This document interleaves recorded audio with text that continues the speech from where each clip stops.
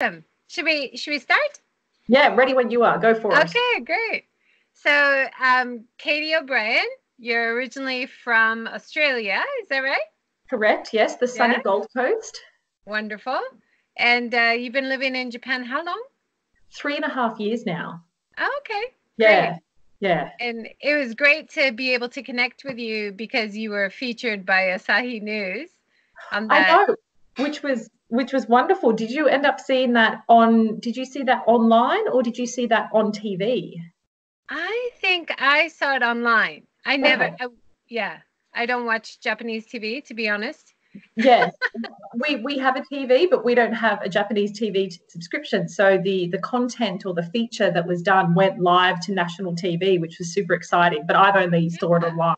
So No, fantastic. And it's, if, I mean, of course, for us who understand English, it was a shame that they cut out your English and didn't just have subtitles. So I was trying to listen to what you were saying, you know, and I, I think I got there in the end. But um, but basically, you were talking about um how you're trying to do plastic free. Was that only in July, or basically you're trying all the time? So, so basically, a year ago, um, after being in Japan for about two and a half years, uh, made the decision to stop using so much plastic. It got to a point where it was just completely overwhelming the quantity of plastic that my husband and I were using in a household of two. Um, and so, Plastic Free July, which have you heard of Plastic Free July? I hadn't, but um, yeah. Once I saw it in the video, of course, yeah. It's it's all over the world. People were trying to do it just for July. Yeah. Yeah, so it's a, it's an Australian initiative, which is really Oh, okay. amazing. Um, and it's kind of uh, basically the, the concept is that you take a pledge for the one month during July to eliminate single use plastics from um, your life. So you say, for example, I'm not using plastic bottles, plastic cutlery, or coffee cups, for example. And the idea is that, you know, after a month, people will realize, hey, this is actually quite easy. You kind of get addicted, hopefully, and go a little bit further. And that's what happened with me. So for Plastic Free July, I started, and then at Last the end year, not last this year. for Uh-huh. yeah. And I started, and then at the end of it, after trying not to use single-use plastic, I still had a huge bag of plastic for my husband and I for our, our two-person household. And I just went, this deserves more than a month. This is going to need a lot longer. And so then I made the decision to basically document all of my plastic use for uh, each month that I went Okay. through. Um, And then that process has been going on. And I just finished up one year in July for Plastic Free July this year, which was Great. 2019. Wow. So you did a whole year of it. Did a whole year. Fantastic. Yeah. And, it, and, and, you know, it was a, it's, it's a daunting process because you're photographing all your rubbish for everyone to see and putting it online. It's actually quite confronting to those first few times because you're kind of judging yourself a little bit, Yeah. but then you're worried about how other people will judge you. But in the end, it was the best thing that I could do because I think on social media, you see all of these fantastic eco influencers, Yeah. which are the best type of influences that you can get, but they all have their wonderful kind of little mason jars of rubbish and they say, This is my rubbish for five years. And Oh, it's yeah. it's very difficult to live like that. And so especially, in Especially somewhere in Japan. In Exactly. Japan. so I wanted to really put it forward and say, you know, a process like this takes time. It, Yeah. You won't get that mason jar in a month. And in a place like Japan, where the conversation is still very, very kind of very early days about Yeah. plastic use, uh, it's going to take a little bit longer. So yeah, so that Definitely. that yeah. last year was huge. I'm kind of addicted to it now. I'm I'm That's kind of like, do I keep on going or do I stop now? Oh, you got to keep going. this is what I thought. You're an inspiration to everybody. hopefully, And hopefully. You know, I I really found that this year there were certainly on the staff side of things, it was easier, right? Like when you take your own bag to the bakery and Yeah. say, I'd really like to just go from that tray straight to my bag. Can we do it? You know? Yes. And previous years, it'd be like, no, impossible. I'm going to Oh. insist on putting in a million bags. but recently it's been like, yeah, okay, sure, you know. Interesting. Maybe that's because a lot of the kind of the staff at these venues and these establishments are a lot younger and maybe they're a little bit more in tune there's, with what's happening. There's something happening just slightly. I mean, yeah. you're, you're in Tokyo, maybe it's about a lot easier for people yeah. to to get the idea. I'm outside of Tokyo, so it just takes a little bit longer. But yeah. certainly this year, it's been positive. Yeah. Well, that's great to hear because I feel like for the last year that I've been doing it, every time I go to a new establishment and ask and take my own container or do something different, I feel like I am met with complete shock and confusion. But eventually, when I explain in my very bad broken Japanese what I'm trying to do, um, they tend to be, they tend to realize and they go, oh, okay. And then don't judge me for this. But at the end of those very awkward conversations, I end up saying, Eco de Iko. And, and then they go, oh, oh, okay, okay. And they realize what I'm trying to do. So I think it's just a conversation and it's a process Good. that will take some time. Yeah, fantastic. and during I I I think it'd be interesting comparison during the year. Have you been back to Australia or other countries? And is it any better? Yes, completely. It is. So, okay, good yeah so australia australia um, growing up we had a culture I, I, lived on the east coast of australia near a beach and i grew up on a beach and surfed and did surf life saving i grew up in hawaii so yeah okay and so the waste was, is crazy right well and the, but we almost there's a there's an individual responsibility like a collectivity that if you see a piece of paper or rubbish on the ground it's not too dissimilar to japan in that sense that you pick it up and you put it in the bin because the immediate threat is that it will go into the ocean and kill our wildlife. And so we kind of had this, I had this growing up. Um, but coming to Japan and like just the, the the triple packaging, the triple wrapping of things, like the the the omotenashi, which is like really a wonderful part of culture here, but it's just so damaging that it's the undoing or the unlearning of that and the education process. But Australia is great. They've got fantastic bulk food stores. So oh, I don't know. So zero waste shopping, you can actually totally. do. Yeah, so there's there's a few great companies that have kind of come on the market in the last year. Um, mm-hmm. One particular one is a, is the Source Bulk Foods. They have something like 52 locations around Australia that are all like basically zero waste or um, uh, bulk food stores where you take all your wow. own containers. And it's like everything from ice cream That's awesome. to rice to um, beauty care.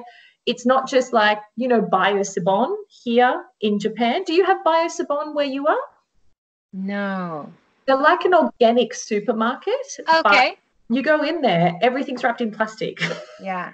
Yeah, but, even even here, organic shops, it doesn't matter. They yeah, still have everything in plastic. Yeah, but to Bio c' Bon's credit, they have a small bulk section where you can buy like lentils and some, you know, chickpeas, dried okay. fruit, bits and pieces. But it's it's a start, which is fantastic. But ideally, it'd be great to have that, you know, have those bulk foods in more locations around Tokyo Definitely. and Japan definitely yeah. and then it's you know like you i saw in the video you you take your own bottle to the bubble tea shop or you know yeah. i mean it's just finding certain places that are easier or the staff are more familiar with this idea right yeah you, it's yeah. exactly like that. We we kind of have because um, uh, my husband and I live in Nakanoku, and we have our little kind of our zero waste Saturday morning shops that we go to. Okay, nice. And what's what's really cool is um, our local bakery where we take our little cotton bags. Um, you know, my husband came back last week and he said, "Oh, they've employed a new staff member there." And that new staff member took Ash's um, tray of baked goods and started to put it in a plastic bag. And three of the surrounding staff jumped on her and was like, "Pulastiku irimasen." They just started straight away. And so Ash was like, "They they remember us and they're part of the community now, which is really good." So it, it gets easier. I think that's the most important thing. It gets yeah. easier. And yeah. and I I mean it's it's frustrating, but I try to think every time I talk to someone, even if it doesn't go anywhere, it's a conversation. Exactly. And they might just have it in their mind for the future, or they might mention it to their manager, or you don't know. But having that conversation, just asking, is it possible? That's an important step to have, right? completely completely and and like even little things like at the at my work where i work i was showing one of our our staff um, our community members uh, about my eco de iko account and she looked at me and she was like oh would you like to do a presentation at work about that? And I was like, I would love to. And so that's part of the content that you saw on Asahi yeah, News was um, because somebody showed interest and was like, oh, we can help you kind of reach a bigger audience at work. We ended up having those weekly lunchtime sessions for the whole month right. of July. Yeah. So yes, every conversation can lead to something bigger. That's a really yeah. good point. Yeah because I I've done some research in Kamikatsu, which is the only zero waste town in Japan. It's yes, really, really that. small, small place in Tokushima and Shikoku Island. Mm. Mm. Um, and when I went there, they were actually everybody takes their garbage to the central sorting station, and you sort into 45 different categories. And when I told my Japanese friends that this a couple years ago, they were like, "No, mendokusai, like no, how horrible," you know. But yeah. then I think I think now, a few years later, other towns are trying composting. Other yeah. towns are trying more sorting, you know, so definitely maybe because of the G20 this year in Osaka. Yeah. That yeah. there there was a push to reduce plastic. There is a conversation. Have you noticed like more around you about anti-plastic now? Yeah, totally. And and it's in Japan it has definitely ramped up in the last year that I'm that I've been aware of what's been happening, but I think culturally there is there is a shift happening like you said there are conversations there is movement towards a new direction um, japan is still like as much as i love japan japan is still years behind the rest of the world and i think you know as part of this process initially in the first few months that when i was going plastic free um, i was getting angry like really angry because things would get bagged. You'd have to look at look at attendance because if you turned your eye for two seconds, they double bag something. And I had to realize that you can't get angry at, at anyone because it's just part of the culture here that that relearning is happening, but it's just going to take time, unfortunately. Yeah. Um, yeah. But but it started, which is fantastic. So I think it's good.